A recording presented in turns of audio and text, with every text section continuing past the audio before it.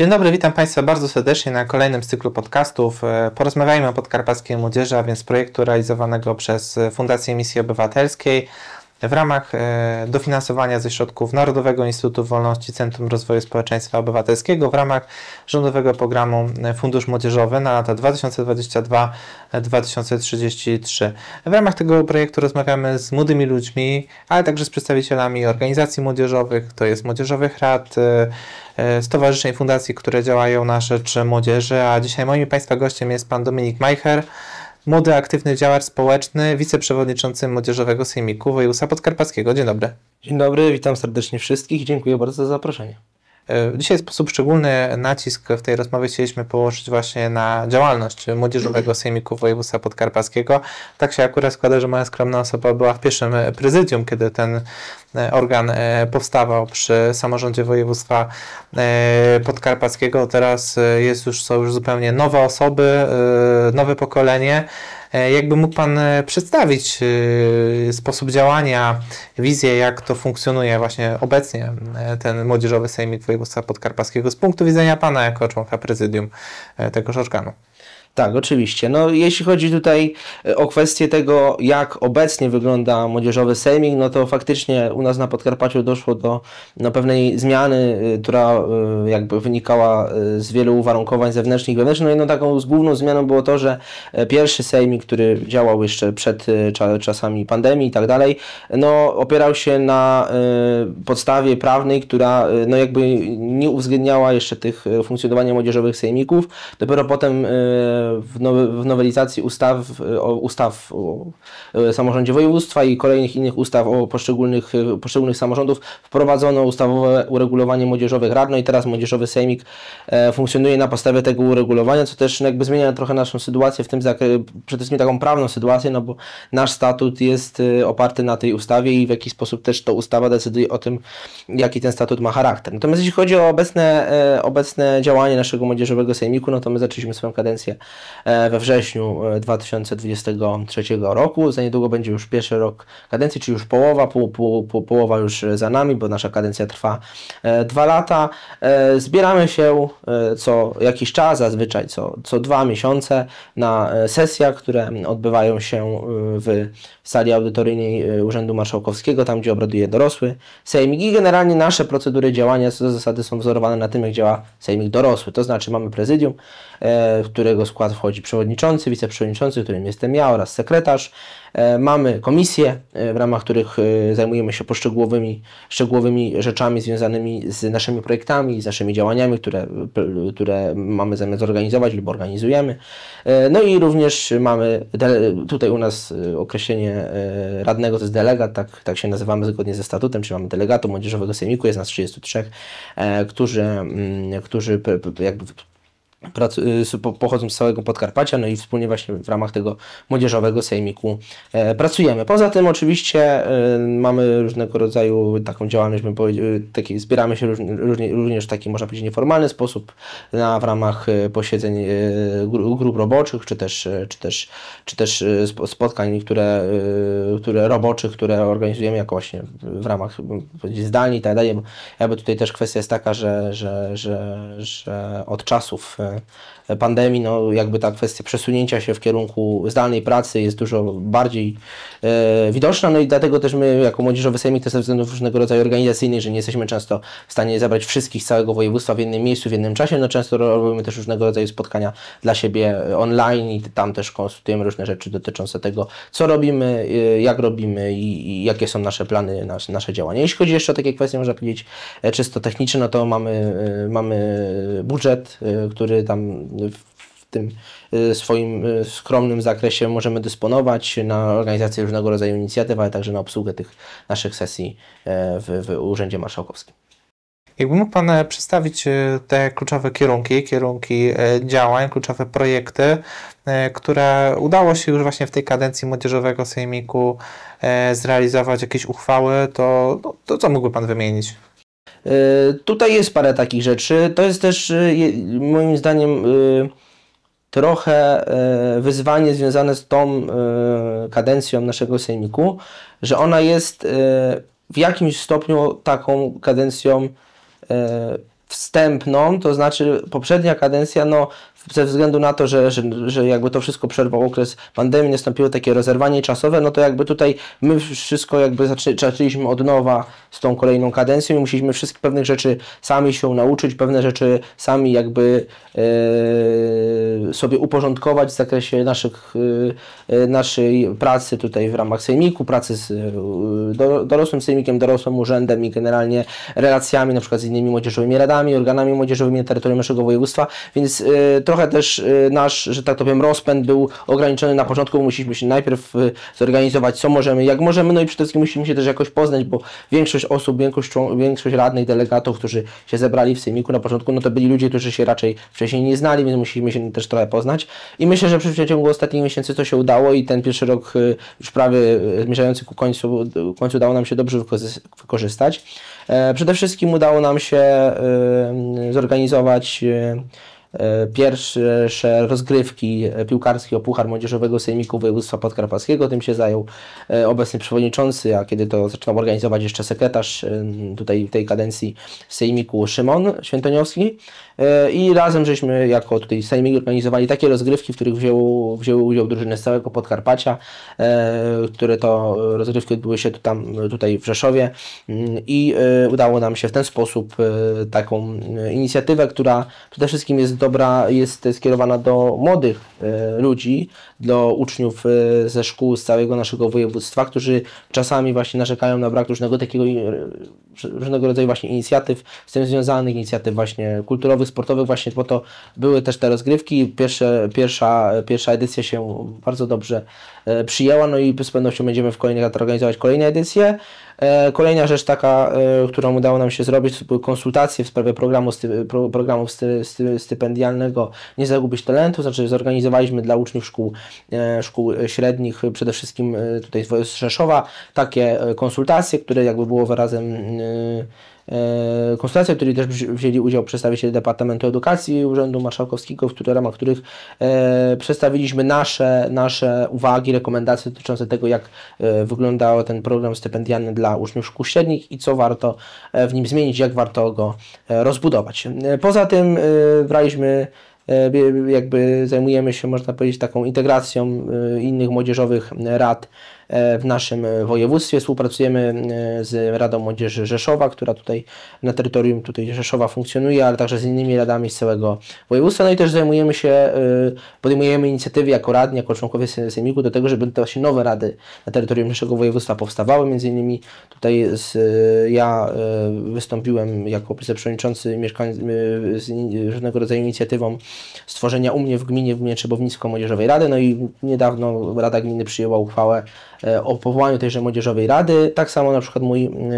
tutaj przewodniczący, przewodniczący Młodzieżowego Sejmiku Szymon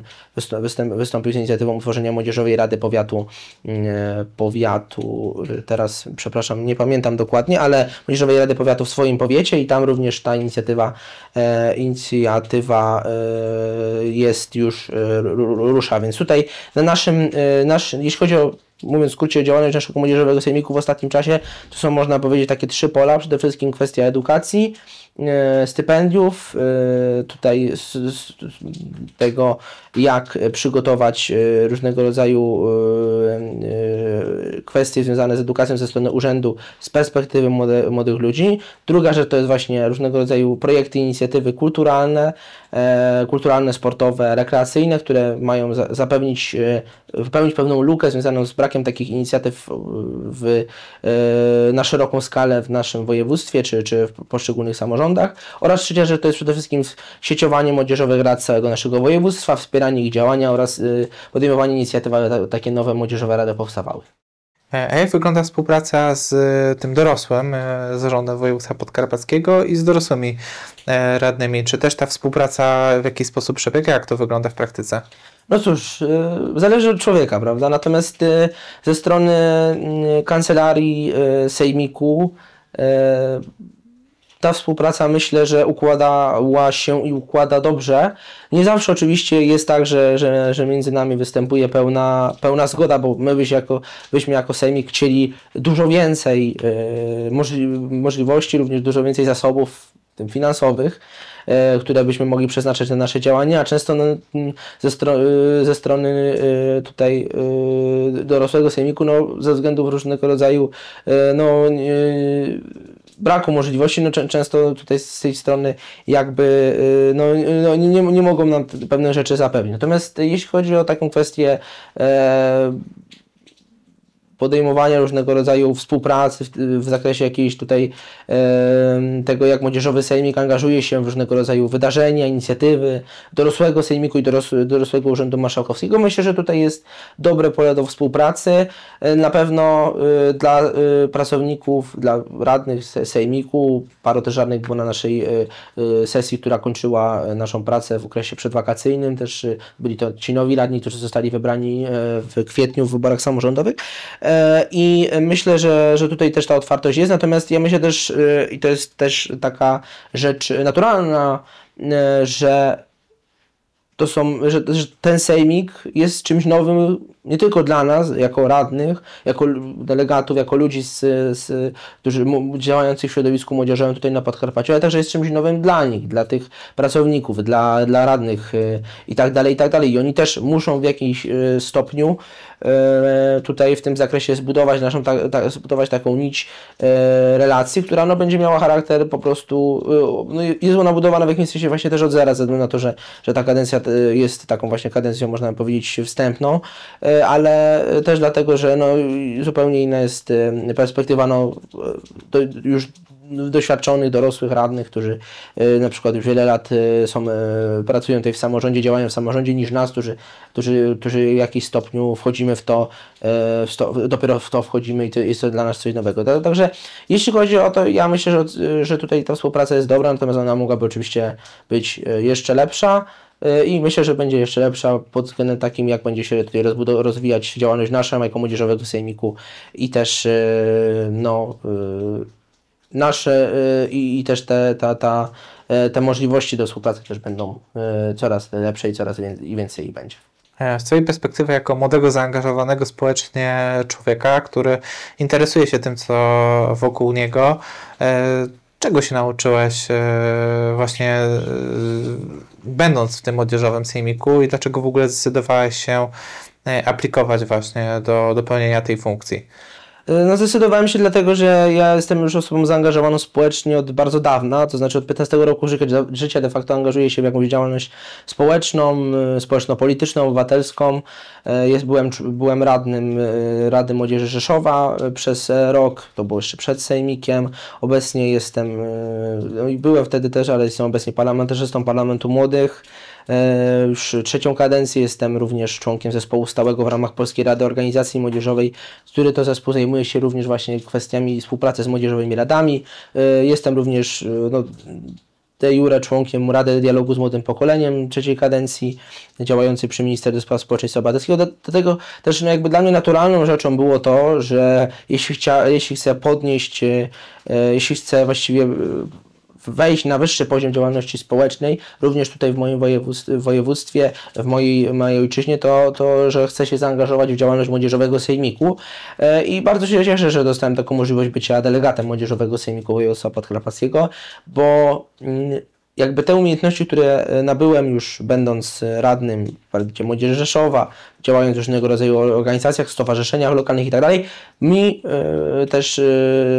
mogły, mogły się rozwinąć właśnie, mogłem je rozwinąć właśnie w ramach Młodzieżowego Sejmiku. No tutaj na przykład no bezcenną rzeczą, jaką daje Młodzieżowy Sejmik, no to jest możliwość zobaczenia, jak działa samorząd województwa od środka, tak? czyli w jakiś sposób stanie się częścią tego całego systemu tutaj pracy, pracy w ramach Urzędu Marszałkowskiego. E, druga rzecz taka, no to jest oczywiście kwestia poznania ludzi, którzy mają podobne zainteresowanie i podobną chęć zaangażowania się, tak? Znaczy oczywiście nie wszyscy, natomiast no, ci, którzy zechcieli stać się częścią sejmiku, zgłosili się, no to są osoby, które w jakiś stopniu się coś już angażują społecznie albo chciały się zaangażować, mają taką chęć, żeby coś zrobić, coś podziałać, zrobić jakieś projekty, jakieś inicjatywy dla młodzieży tutaj z naszego województwa. I to jest też wartościowe tym zakresie, że można się z tymi ludźmi spotkać i jest miejsce do tego, żeby z nimi coś zrobić wspólnie, ale druga jest rzecz taka, że można ich po prostu poznać, tak? Y, wymienić się doświadczeniami, y, spojrzeć na inne punkty widzenia, y, inne perspektywy osób, które no, pochodzą z całego naszego województwa i są bardzo zróżnicowane, więc to jest na pewno też duża wartość dodana i mm, i y, perspektywa takiej, y, tej, rozwoju takiej współpracy na pewno też daje dużo, y, na pewno też dużo daje tym, którzy, którzy chcą się z nią zaangażować, no i dużo dała mi, ponieważ też pozwoliła otworzyć się na wiele różnych rzeczy i samemu różne rzeczy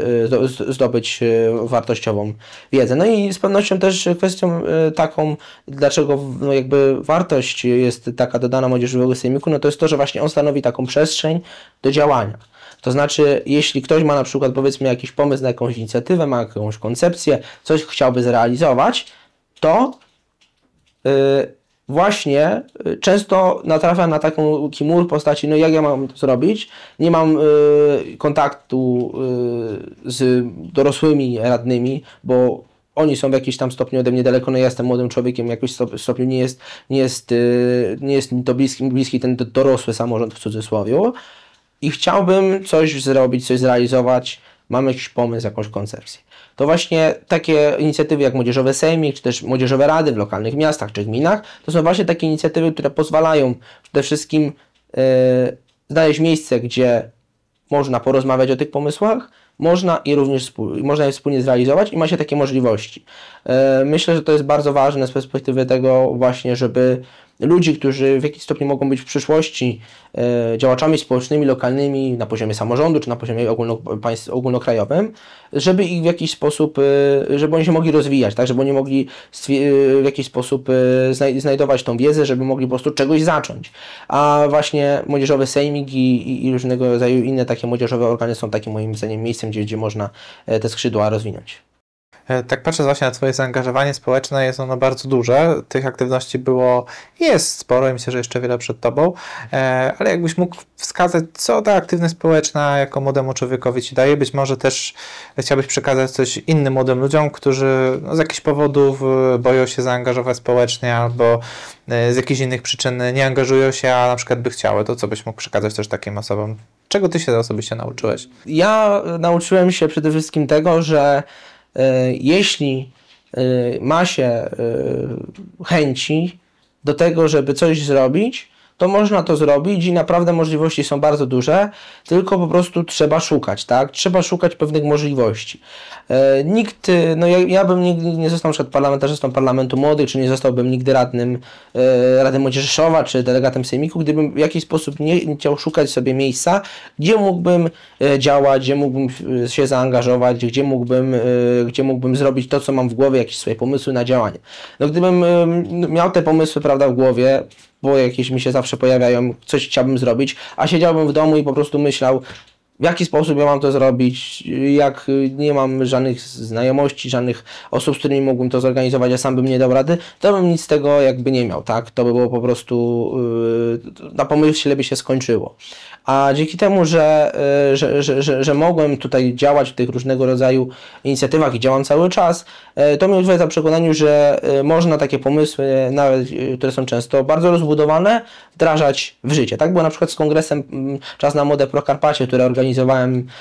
jako Rada Młodzieży Rzeszowa, ja organizowałem ją, byłem współorganizatorem tego kongresu wraz z moją koleżanką z Rady, wtedy przewodniczącą Kamilą Pabiańską i udało nam się zrobić kongres dla rad z całego Podkarpacia, mimo że to się wydało tak logistycznie bardzo trudne, ale dzięki tej możliwości, którą żeśmy pozyskali uczestniczenia tam w, w projekcie, e, udało nam się to wydarzenie zorganizować i, i, i, i e, fajnie, się, e, fajnie się ono udało zrobić. Także naprawdę to, co, co mnie najbardziej właśnie nauczył, nauczyła praca w takich organach, ta, to doświadczenie w polityce młodzieżowej, że, że jeśli z, mm, jest chęć y, realizacji pewnych rzeczy, to trzeba, y, to trzeba y, w jakiś stopniu szukać jak najmocniej tego, jak można je zrealizować, bo naprawdę bardzo często da się je zrobić, mimo że one się wydają pozornie niemożliwe. E, natomiast jeśli chodzi o osoby, no, które są w podobnej pozycji co ja, to znaczy również mają taką naturalną chęć, żeby działać społecznie, po prostu ich to w jakiś stopniu y, porywa. No, nie, jest to coś, co, co jest dla nich naturalne, że chcą się angażować w wolontariat, w organizacje społeczne, w działalność lokalną i tak dalej. I po prostu to lubią robić. Y, to myślę, że przede wszystkim właśnie to jest najważniejsze, tak, żeby y, szukali miejsca, gdzie mogą faktycznie te swoje, y, swoje społeczne zainteresowania rozwijać i realizować, bo naprawdę jest dużo możliwości. Taką możliwością jest również Młodzieżowy Sejmik województwa e, podkarpackiego. Zawsze co jakiś czas zdarza się, że, że, że, e, że tutaj no, wydarza się rekrutacja uzupełniająca w niektórych okręgach, bo tam niektórzy radni też rezygnują. Czasami się też tak zdarza, więc zawsze można też spróbować wtedy swoich sił, albo spróbować za rok swoich sił, jak już skończy się ta kadencja, w rekrutacji na kolejną kadencję i stać się częścią tego młodzieżowego sejmiku, poznać osoby o podobnych zainteresowaniach właśnie z takich społecznych, takiej żyłce do działania i na naprawdę e, swoje pomysły realizować, bo to jest najważniejsze, tak, żeby mm, w jakimś stopniu mm, dać, e, znaleźć sobie takie miejsce, gdzie można swoje, to co chce się zrobić, to w jaki sposób chce się e, zadziałać dla, dla tych lokalnych wspólnot, na przykład z którymi się jest związany, to, to to jest bardzo ważne, żeby właśnie znaleźć takie miejsce, gdzie można to zrobić, bo potem to też jest E, taka okazja, żeby pójść dalej, tak, żeby dzięki temu, co doświadczeniu, które się zdobyło, móc dalej się rozwijać w tym, co lubi się robić i w tym, co się chce robić, być może w przyszłości nawet w formie jakiejś, formie tak e, spełnienia zawodowego, tak, żeby nie była to tylko taka działalność wolontariacka, ale że e, z tym możemy, prawda, w jakiś sposób wiązać swoją przyszłość zawodową i to, co chcielibyśmy robić w życiu. Także jak najbardziej, jeśli ktoś jest, jest, chce być młodzieżowym aktywistą, aktywistką, musi, znaczy musi, moim zdaniem powinien szukać możliwości i realizować po prostu to, co y, chce robić, swoje pomysły, bo to prowadzi do dalszego rozwoju i faktycznie tego, że ta działalność y, po prostu jest satysfakcjonująca dla tego, który chce się jej podejmować. E, patrząc na Twoje doświadczenie e, zawodowe, życiowe, e, chciałbym Cię teraz zapytać trochę o tą przyszłość. Jak, jakie plany na przyszłość, zarówno te Twoje osobiste, związane właśnie z tą aktywnością społeczną, obywatelską, jak i w kontekście też organu, który reprezentujesz, czyli właśnie Młodzieżowego Sejmiku Województwa Podkarpackiego, co przed nami? Jakie plany? Yy, jeśli chodzi o młodzieżowy sejmik, to przed nami przede wszystkim kolejna sesja, która pewnie odbędzie się e, w najbliższym czasie, e, bo musimy pewne rzeczy też e, ustalić w związku z tym, że minął już okres wakacyjny, no i jakby ruszamy w pełną parą do działania. Ale poza tym no na pewno mamy parę inicjatyw związanych na przykład z tym, aby te konsultacje, które już żeśmy odbyli w ramach stypendium, rozbudować również na stypendia dla studentów, pojawia się e, różnego rodzaju inne pomysły, inicjatywy dalszego wspierania tej, e, tego e, integrowania młodzieżowych rad w naszym województwie i myślę, że my te działania będziemy stopniowo podejmować. No, teraz przygotowujemy się też do tego, aby mm, się spotkać w takim gronie, można powiedzieć, roboczym i też pewne rzeczy ustalić, jakie mamy działania teraz w tym terminie najbliższym, czyli powiedzmy do końca tego roku do zrobienia, a jakie mamy w perspektywie całego roku, no jeszcze ostatniego roku, kaden ostatniej kadencji naszej pracy, aby e, je, jakie pomysły, jakie, mm, jakie projekty, e, w jakim one są stanie, no i w jaki, jakie mamy je, do kiedy mamy je zrealizować i czy w ogóle mamy je, e, dane projekty realizować. Natomiast jeśli chodzi o mnie, ja, e, no, przede wszystkim jeśli chodzi o moją działalność społeczną, to skupiam się na tym, aby zakończyć, e, znaczy, aby zakończyć, aby kontynuować moją pracę w Parlamencie Młodych, ponieważ w tej kadencji jestem marszałkiem parlamentu, jednym z trzech marszałków i w związku z tym, no, spoczywa na mnie wielki ciężar pracy, organizacji pracy całego parlamentu, który to jest jedno, właściwie w tym momencie jedną z najlepszych, o ile nie najlepszą inicjatywą właśnie takiego